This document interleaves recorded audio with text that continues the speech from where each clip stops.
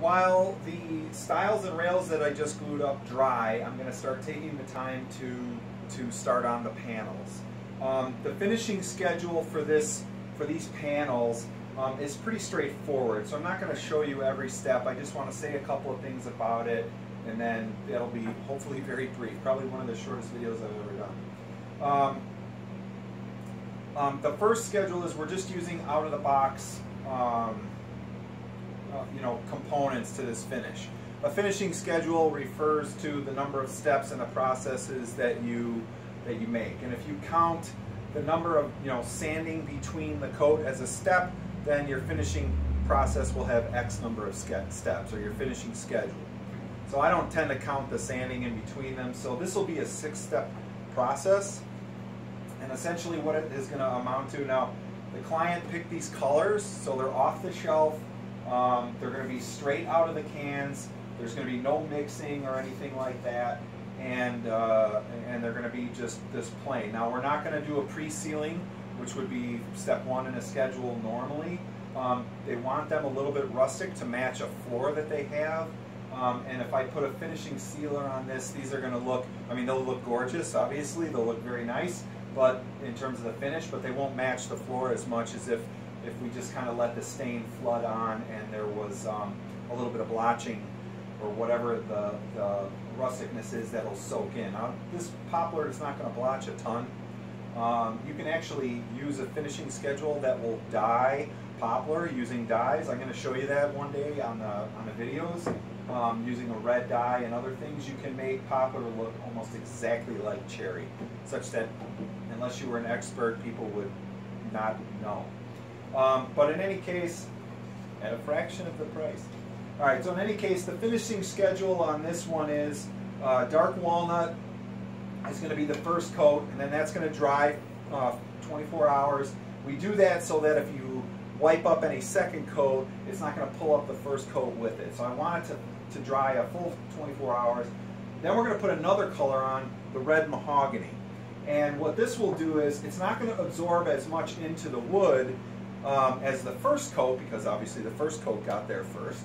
Um, but it will enhance the color of the um, of the panel slightly. It'll have a slightly, I don't want to say red because everybody freaks out when they say red mahogany. Oh, I don't want red. Red mahogany is actually like a little bit red, but mostly brown. So you're soft, softening up this dark walnut, you know, uh, pretty well to where it's a warmer but darker look, and, and there's not that much red in it. It, it. It's less than you would think, and you'll see when I'm done. So that's step two of the schedule. Steps three and four are going to be clear satin finishes straight out of the can. This is just regular polyurethane satin finish, full strength. I'm not going to dilute this at all um, for two reasons. One, I'm doing the panel as it's laying on a horizontal surface, so I'm not worried about drips running over. I don't care about the sides because those are going to be hidden by the, the stiles and the rails. Um, there'll be two coats of this and then two coats of this. And this is just the wipe-on poly. Obviously you're going to sand between each coat of polyurethane to get all the dust nugs out and everything like that.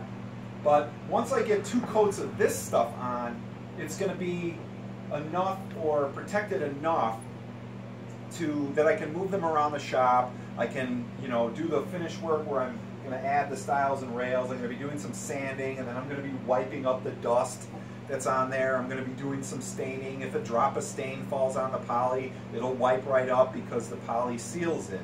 Um, so I just put a couple of coats of the wipe-on poly because A, it, you know, it adds to the overall durable finish, and B, if it gets scuffed in the shop while I'm moving it around, or God forbid there's like a little light scratch on there, then I'll be able to fill that in with a couple of coats of the poly. So it's a six-step finishing process. Very simple, actually, two colors, two coats, and then two coats. Everything's in, in twos. So the first thing I'm going to do is, um, you know, I make sure that there's no pigment on the bottom of the uh, can. And there's pretty much no pigment here. Pigment here. I just use whatever I can that's clean. Um, um, in terms of these little stirring sticks. I find that paint sticks cut in half work great for this, uh, you know, pint-sized, uh, quart-sized um, containers or whatever. So that looks pretty good. I also stirred it before the camera, of course, so I can go quickly. And you'll just want to have a rag with you um, and try to get the dust out of it. I can tell you from personal experience that you're going to want to start with the far end. if you start with the close end of something this big, you're going to be leaning into it. And let's face it, everybody, every one of us has, has been into the shop with a nice shirt on and it's turned into a not nice shirt that you can use in the shop all the time because you leaned into something. So I'm just going to dip right out of the can. Um, these boards are one by four, so there's 11 of them effectively making up this panel. And I'm going to just do about three at a time and then wipe it off. So three white, three white, three white you can see, you know, the first coat goes on kind of rough, but it's, I don't know if you can see in this light, so I, I do apologize. Maybe I'll bring the camera over here when I'm done. It goes on pretty dark, and dark walnut is dark. Um, and it's a dark brown, not really black, but it's a very dark brown, and it's not very soft, in my opinion. So by putting the red mahogany on it, you're basically um, lightening it and warming it. And so all I'm going to do is this, and I'm not going to, you know, talk too much more about it. If you've got questions, obviously feel free to email me or, um, you know, post them at the bottom of the comments section. I try to get to them as quickly as possible. There are times I get very busy and I'm, you know, two weeks or more sometimes before I get to a question, but I will get to it. And if I forget, then just post it again or email it again email it to me. And then all I want to do is just make sure that I, you know, streak all the way down, you know, every so often so that I get rid of these, you know, uh, lumps of, uh, or, or puddles of the stain. So with that, I bid you good evening or good day or good morning wherever you're at and I will come back when this is complete. Hey everyone, excuse me. I wanted to show you a couple different tips. When you're done using your sponge brushes right away, you, you don't have to throw them, when you're done using your sponge brushes, you don't have to throw them away right away.